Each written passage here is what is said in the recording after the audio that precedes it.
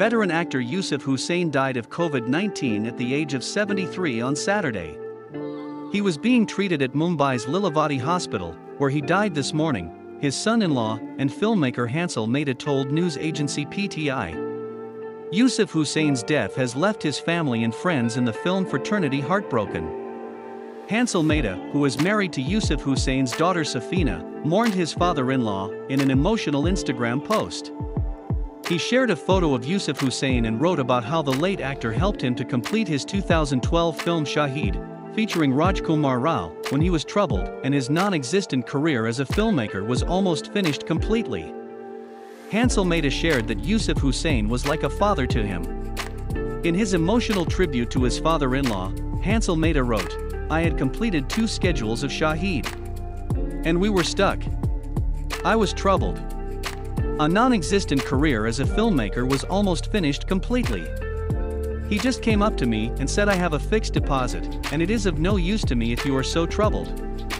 He wrote a check. Shahid was completed. That was Yusuf Hussain. Not my father-in-law but a father. He added, he was life if life itself had to have a physical form. Today he is gone.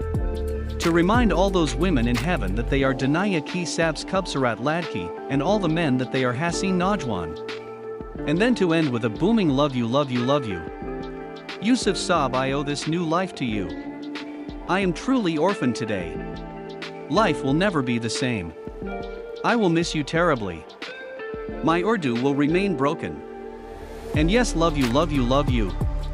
Actors like Abhishek Bachchan and Manoj Bajpayee also mourned Yusuf Hussain on Twitter.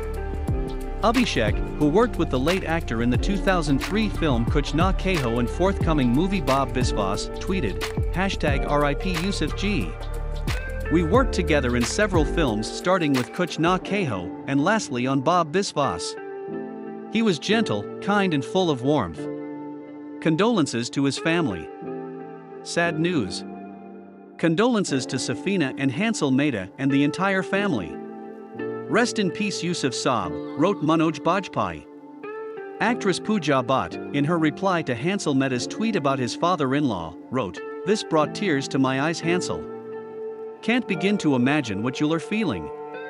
My deepest condolences to all.